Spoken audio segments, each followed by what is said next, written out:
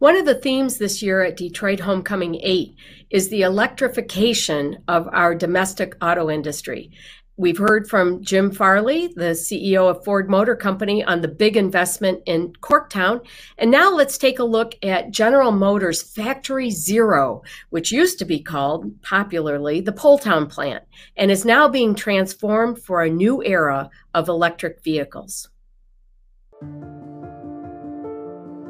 We have a historic past with Detroit Hamtramck. It's a factory that we've had in our footprint for years and it has a storied history and it has a storied future. You can almost see it from the RenCen. It's right in our shadow, it's right in our purview, and we're really proud that it's also symbolic of our future. Factory Zero is General Motors' expression and execution towards a commitment towards zero crashes, zero emissions, and zero congestion, which is our mission.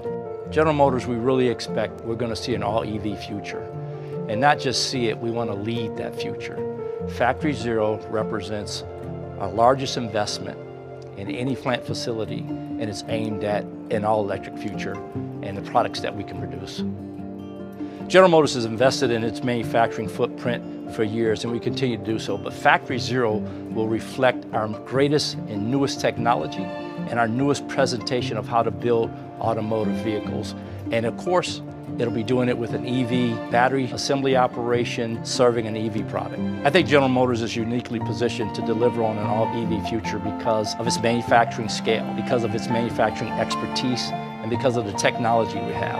And more importantly, because of our trust and the faith that our customers put in the reliability and assurance of the products that we're going to sell to them to see the transformation and the new direction for the future that's not only meaningful for General Motors, the auto industry, but it's meaningful for the planet and the well-being of our planet.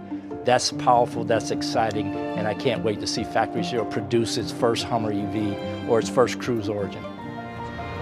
I'm excited because doing the electrics, this is where my future's at. It's going to help the environment, give GM, I think, a very strong future. They had a new factory, building state of the art. I wouldn't be anywhere else. I think this is going to be the showplace. We're going to set a legacy for every other assembly plant. GM is jumping into this with both feet and there's no slowing down.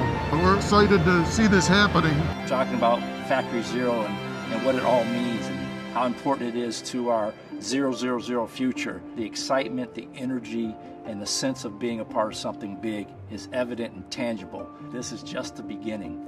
We can do so much more, and we will.